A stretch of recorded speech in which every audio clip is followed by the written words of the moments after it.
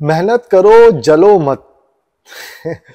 और ये बात की है, एक इंडियन यूट्यूबर है और क्रिकेट एनालिस्ट कह सकते हैं, क्योंकि वो क्रिकेट पे भी बात करते हैं, वो सियासत पे भी बात करते हैं, वो जैसे वायरल टॉपिक चल रहा होता है, उस पर भी बात करते हैं, बहुत सारी बातें करते हैं, लेकिन आजकल वो क्रिकेट एनालिस्ट बने हुए हैं। तो उन्होंने कहा कि जलो मत, मेहनत करो, पाकिस्तानी बॉलर और आप लोगों ने टाइटल से और वीडियो के थंबनेल से अंदाज़ा लगा लिया होगा मैं किसकी बात कर रहा हूँ। खैर जी, इन्होंने कहा कि आप जलो मत, पाकिस्तानियों, मेहनत किया करो और जो है वो जब आप मेहनत करते हो तो हम नहीं जलते और हम जब मेहनत करें तो आप क्यों जल रहे हो? यार असल में बात ये नहीं है कि हम जल रहे बात यह है कि जो चीज़ दिख रही है, उस बारे में बात करना जो है वो बहुत ज़रूरी हो जाता है। खैर जी बात यह है कि उन्होंने कहा कि यार आप जब अच्छी बॉलिंग कर रहे होते हो तो हम तो नहीं चलते हम तो नहीं बोलते। और जब आप जो है वो अच्छी आ, कोई चीज़ कर रहे होते हो तो हम तो नहीं बोलते कि यार बेड में स्प्रिंग लगा हुआ है या पिच ऐसी बनवाई हुई है। और आप क्यों नहीं बोल रहे लोग? तो मेरे भाई बात यह है कि आपने जो है वो जो भी बात की है उस बात का मैं एक एक करके जवाब देता हूँ आपको। आपको बात समझ आएगी कि असल में हुआ क्या। हुआ ये कि जब वर्ल्ड कप स्टार्ट हुआ या वर्ल्ड कप से पहले की परफॉर्मेंस की बात करें तो आपने हमारे जो बॉलर्स थे, उन पर भी बड़ी तनकीदें की है। इवन आपके रवि शास्त्री जो है, वो कमेंट्री पे बैठ के वो कहते हैं कि ये एवरेज बॉलर है, इनको ज़्यादा हाइप मत दे। ये बात कही नहीं गई है, कही है ना? उसके बाद उन्होंने ये भी कहा कि भाई इनको जो है वो नॉर्मल बॉलर की तरह एवरेज बॉलर की तरह ट्रीट करनी चाहिए कोई वसीम अकरम या कार यूनुस थोड़ी ना है।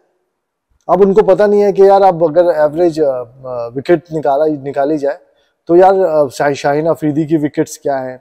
मोहम्मद आमिर कैसे बॉलर हुआ करते थे? ये तो आपके तेंदुलकर भी जानते हैं। ये तो विराट कोहली तो बहुत अच्छी तरीके से जानता है। अच्छा आपने बात की कि यार हम जो है वो पिचेस जो है वो हमारे ऊपर जो है वो पिच पे जो है बड़ी बातें की गई। और उनके जो है मोहम्मद शमी ने जो एक लेटेस्ट इंटरव्यू दिया है मोहम्मद शमी ने बहुत सारी बातें की तो उन्हीं बातों को लेकर जो है वो आ, ये बात कर रहे हैं वीडियो पे।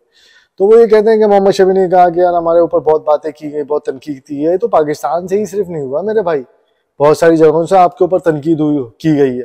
और लोगों ने इस वाकई ये बात कही है कि इंडिया अपनी मर्ज़ी की पिचें बनवाता है।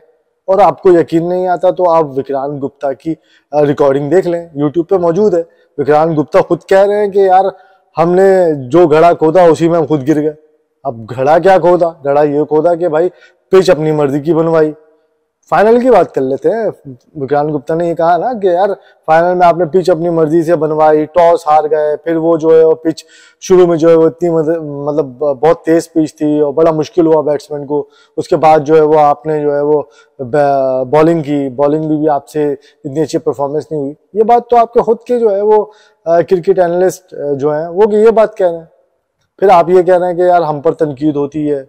फिर आप जो डीआरएस रिव्यू देख लें साउथ अफ्रीका का, वो बंदा खड़ा है और शक्लें देख रहा है। वो भी आपको नज़र नहीं आया। अच्छा चलें, वो भी छोड़ दें। उसके बाद जब हम बात कर लेते हैं कि जब इंडिया और बांग्लादेश का मुकाबला था मुझे एग्जैक्टली वो मैच नहीं याद है कौन से नंबर का मैच था, लेकिन अभी वर्ल्ड कप में ही मैच हुआ था। उसमें जब विराट कोहली बैटिंग कर रहे थे, विराट कोहली को मेरे ख्याल से तीन रन चाहिए थे या चार रन चाहिए थे और विराट कोहली बांग्लादेशी बॉलर जो है बॉल करते हैं वाइट होता है। तो वो जो है, वो एम्पायर वाइट नहीं देता एम्पायर यूँ करके हंस रहा होता है। अब इस बारे में आप क्या कहेंगे कि यार, वो एम्पायर जो है, वो आपकी तरफ़ मतलब इंडिया को जो है, वो फेवर नहीं कर रहा था। क्या वाकई नहीं कर रहा था? फिर आप आ जाएँ बॉल पे। आप जब बॉलिंग पे बात हुई, जो कि हमारे अजहर साहब ने कह दिया, जो एक्स क्रिकेटर है, उन्होंने कहा कि यार इंडिया को मुझे फील होता है कि जो है वो किसी, कोई खास किस्म की बॉल दी जाती है। उस पर आप लोगों ने बड़ी बातें उड़ाई कि यार, ऐसा कैसे बोल दिया इन्होंने? तो भाई, बात यह कि उन्होंने अपना एक ओपिनियन दिया था कि उनको ऐसा लगता है।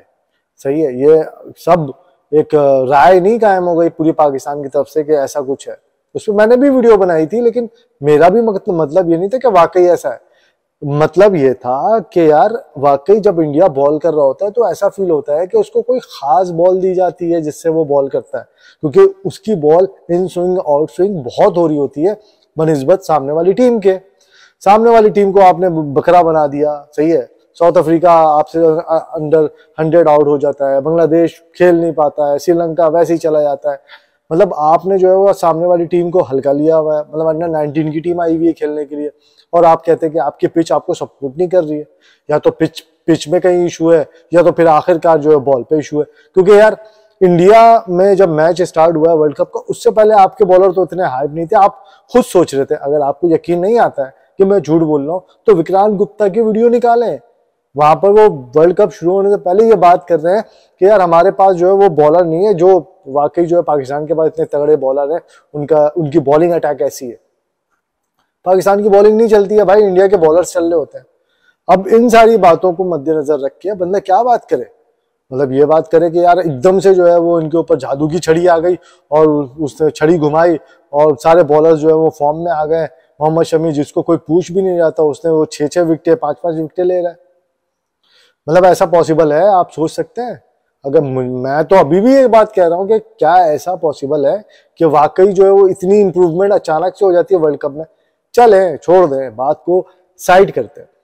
अभी इंडिया में एक अभी ऑस्ट्रेलिया आ रही है खेलने के लिए। इसमें इंडिया अच्छा खेलेगा नो डाउट बॉलर भी बच्चे, बड़े अच्छे परफॉर्म करेंगे, चाहे वो नए हो, पुराने हो। इंडिया बाहर चले जाए, अपने इंडिया से बाहर चले जाए और उसके बाद जब परफॉर्म करती है फिर हम बोलेंगे कि हाँ यार बॉलर्स बड़े अच्छे ये, वो वो तो डिफरेंट पिच पे जाके बड़ा अच्छा कर रहे हैं, ये कर रहे हैं, वो कर रहे हैं। मेरे भाई, और टॉस की बात आपने की तो टॉस की बात भी कर लेते हैं। टॉस की बात आपने की तो रोहित शर्मा जितने भी टॉस करता है, वो इतनी दूर क्यों फेंकता है मेरे भाई? उसको करीब फेंकने में कौन सी मुसीबत है? एक किलोमीटर, दो किलोमीटर दूर फेंकता है, वो एम्पायर बेचारा जा रहा है। भाई, ऐसा करो ना, अंदर ही टॉस क्वाइंग फेंक कर आ जाया करो, बाहर आकर बता दिया करो कि भाई, आप इंडिया जो है वो टॉस जीत के। अब रोहित शर्मा बैटिंग करेगा या बॉलिंग करेगा। तो इतनी जहमत क्यों होती है कि यार आप दो किलोमीटर दूर फेंक दे?